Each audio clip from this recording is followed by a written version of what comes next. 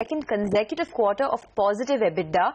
Uh, so the operational performance has been improving for the company in the last two quarters, and that stock is holding up about one odd percent or so today as well.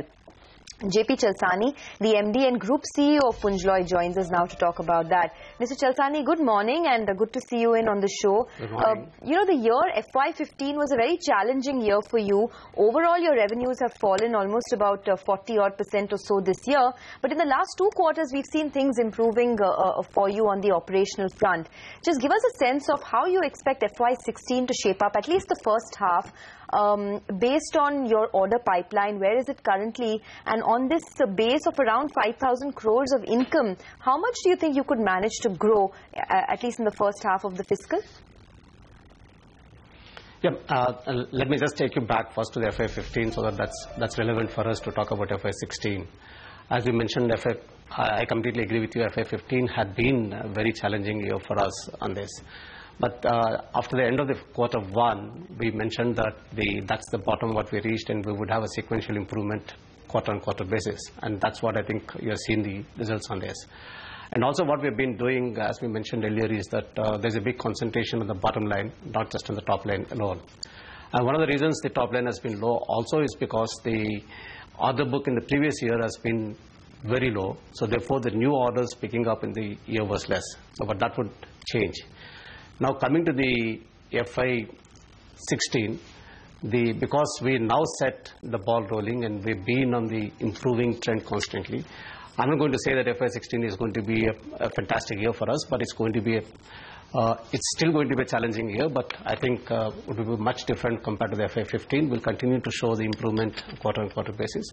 On the, uh, for three reasons. One is that uh, we will consolidate our EPC business and uh, we will uh, be concentrating on the defense segment, which is going to add to, to the top line as well as bottom line. And the third is that our infrastructure development on this.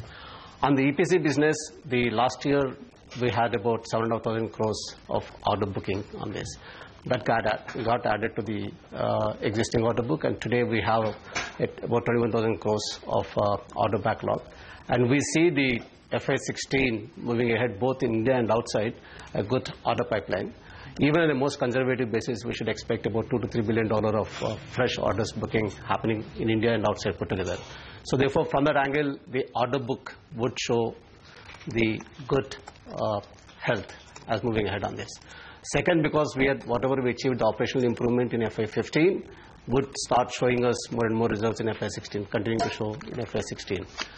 Third is that we are trying to reduce our the cost of debt, which will add to the margins on this. I think that's another area which, because of which the margins would further improve.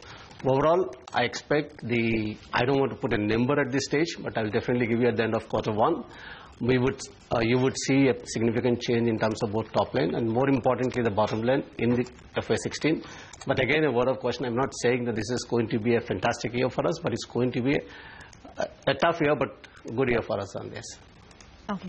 Uh, good morning, Mr. Chalasani. Focusing a bit on the operational improvement, so should we assume from here on the company will continue to you know report positive EBITDA, and overall for FY16 the company is uh, at least at the operating level will be a profit. You know the company will be profitable. That's the expectation, uh, depending upon the, what we are seeing the visibility at this stage. As sure, that is what one can expect to happen on this. Uh, the uh, moving ahead in FY16, definitely. Okay. Uh, you did mention that one of the reasons for improvement in your uh, profitability going ahead will be the increased focus on the defense business. You are bidding for many defense orders. Just take us through what the situation is looking like in terms of how much better could the margins be? What are the average margins that you could expect from the defense business? And how big is the opportunity for you? I think at this stage, it's, it's more important to talk about the opportunity because it's not the stage to talk about what are the margins and uh, I don't think we reach the stage of talking about what are the margins and etc. As you know that we've been in this business for for quite some time, but it's it's really the difference has become the thing in the in, in FY15. That's where the momentum has really picked up on this.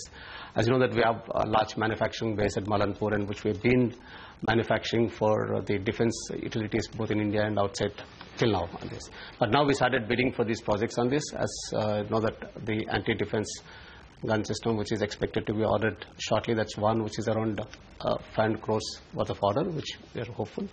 Other one is the which got reported in the media recently, uh, the anti-aircraft gun system, which is about a $2 billion worth of orders, which right now is in the RFI stage, and we expect RFQ and RFP to come out sometime in the second quarter of uh, FY16.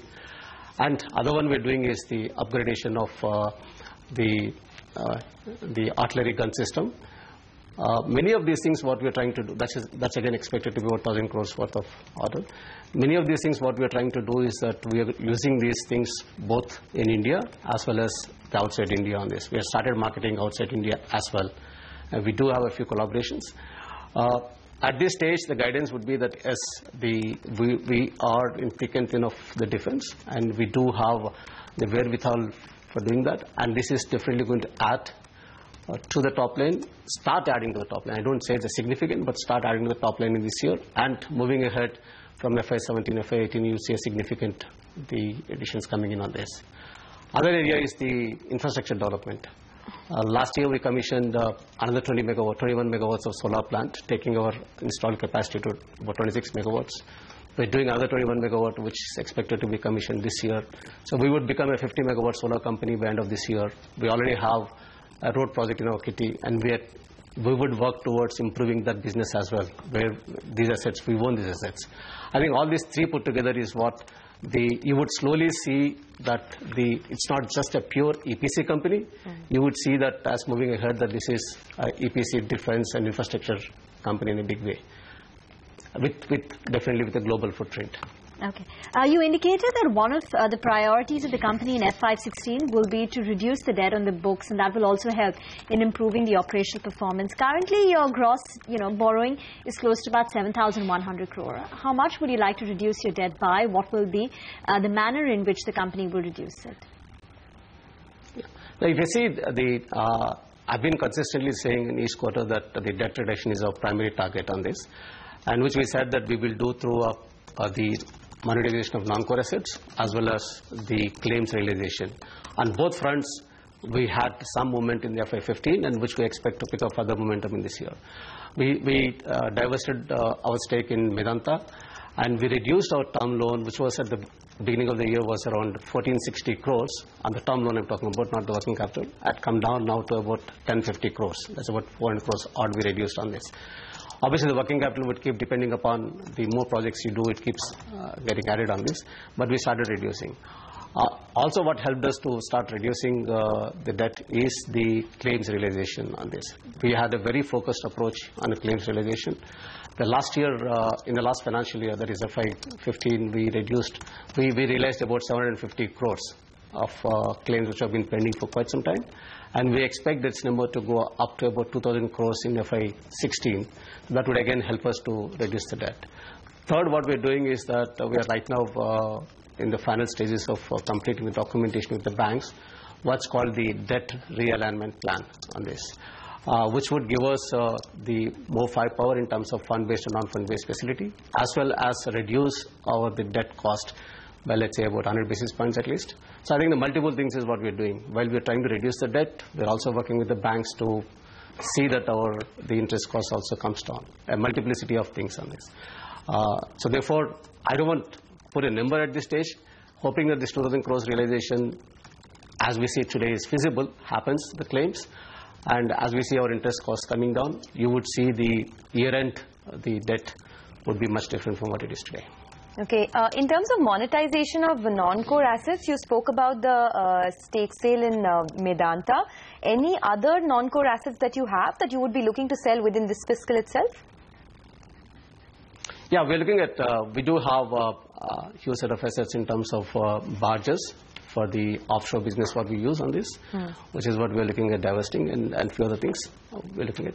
But I think the bigger source of income for reduction of debt this year would come from claims realization, hmm. which is what we targeted about 2,000 crores in this year, and uh, which we are a little more confident because the whatever efforts we had put in last year, which was uh, we really a very focused way we put in approach on this, gave us about 750 crores. In fact, uh, including up to now, the, in this financial year also, if we add, that 750 has now gone up to 1,000 crores.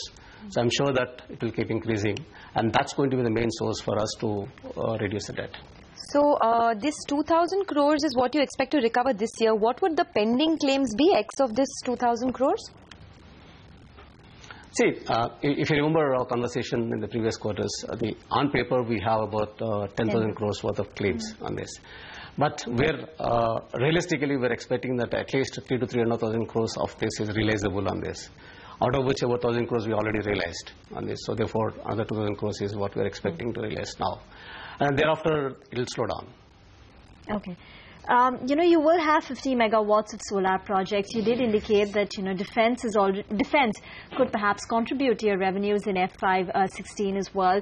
Uh, the order book in EPC is picking up. Um, can you give us a sense about, you know, what the revenues of the company might look like in F5 16?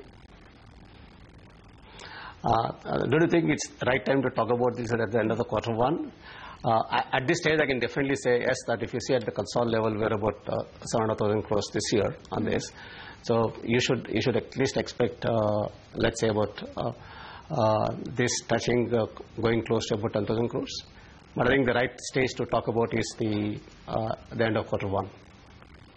Okay, uh, fair enough, Mr. Chalasani. Thank you for. But then, but then, but then, also I said, but I also said that the top line is today in the company is that we're not really focusing on top line alone. Most important for us is to how do you efficiently uh, execute and then improve your bottom line. That's very important. Even if the top line increases, if the bottom line doesn't increase, it's really not going to help us. Oh yes, and your uh, operational performance has been improving, so that's something that the street has yeah. liked. Uh, hope you continue to do that in the quarters to come. Thank you for joining us, and uh, hope you win many of these orders that you're bidding for as well. That's the word coming in from Punj Lloyd. The situation seems to be improving uh, on the ground for them, especially with respect to a lot of these um, segments like solar power, etc. So uh, let's see. Uh, the stock is up another 2 odd percent after uh, having a big run that it, that it saw on Friday. We'll take a break on that note, but when we come back, more market talk lined up, so stay tuned.